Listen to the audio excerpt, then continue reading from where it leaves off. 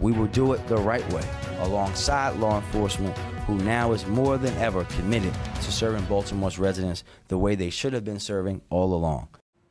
Mayor Brandon Scott's group violence reduction strategy is expanding. The crime prevention plan now makes its way to the Eastern District. Why now? Thank you for joining us. I'm Kai Jackson. And I'm Mary Bubala. The expansion is the latest development in Brandon Scott's crime plan. Fox 45's Mackenzie Frost joins us live in the newsroom with the explanation as to why the mayor says this is the time to move forward with this. Mackenzie? Yeah, Marion Kai, not only is the mayor talking about his five year crime plan, which we're about halfway through, and he says he's making some tweaks to it, but he's also calling for the expansion of GVRS. And that decision is raising some questions about why.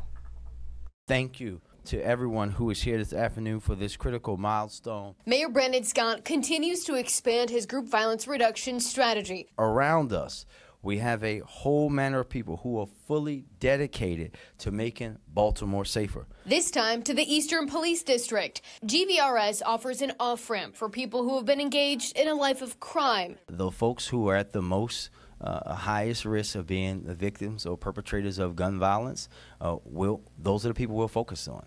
Uh, we will be offering services. They will be getting those letters from me that says, "Hey, this is Mayor Brandon Scott. I know who you are. I know what you do." I want you to stay alive for you and your family. We will give you every resource you can imagine to change your life. We will give you every resource you can imagine to change your life. Mayor Scott says if that help isn't taken, people will face consequences. The Eastern District, though, an area City Council President Nick Mosby acknowledges is already seeing improvement. We've seen progress in East Baltimore without GVRS. With understaffing straining the Baltimore Police Department and Mayor Scott's tight primary just weeks away. Did that factor into the decision to expand it into the Eastern? Yeah, let me first start by saying no, uh, Mackenzie. I'll say this once again. I don't play politics with public safety. Other other folks might choose to do that. You might choose to do that. I'm not.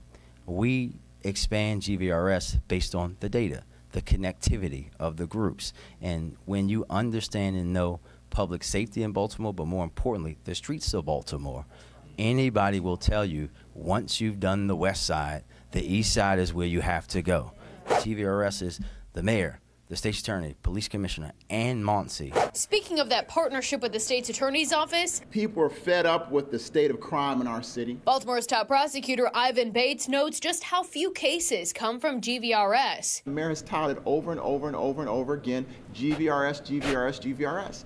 GVRS is only 2% of the violent crimes that my office prosecutes. Violent crime, we're working, we're moving in that direction. However, like I said, when it gets to quality of life crime. So, yeah, we, we, our grade is incomplete because we haven't done the rest of the work. Bates not at the news conference with the mayor Monday. Taking a deeper dive into the data, the latest numbers from BPD show some increases in quality of life crimes like auto thefts and property crimes, especially in the Western Police District, where GVRS was first piloted. From April 7th through April 13th, shootings decreased 25% compared to the previous seven days in the Western District but robberies increased 17%, larceny increased 20%, property crimes went up 39%, and auto thefts increased 200%. Thank you all for being here. Back in February, when the mayor first announced the Eastern District was next in the GVRS expansion, political analyst John Dedie said politics could be at play, especially since the violent crime data was trending in the right direction. I think it is a smart political move to do something like this because it's an area that's having fewer problems, which is easier to show success. Meanwhile, Mayor Scott maintains the data is driving his decisions, not his reelection efforts. Now, the goal, according to the mayor's office, is to expand GVRS into the Southern District by the end of this year and then be citywide next year.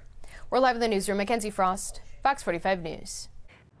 I'm Kai Jackson. Thank you for watching. Here's another video to watch. Also, please take a moment to subscribe to our channel.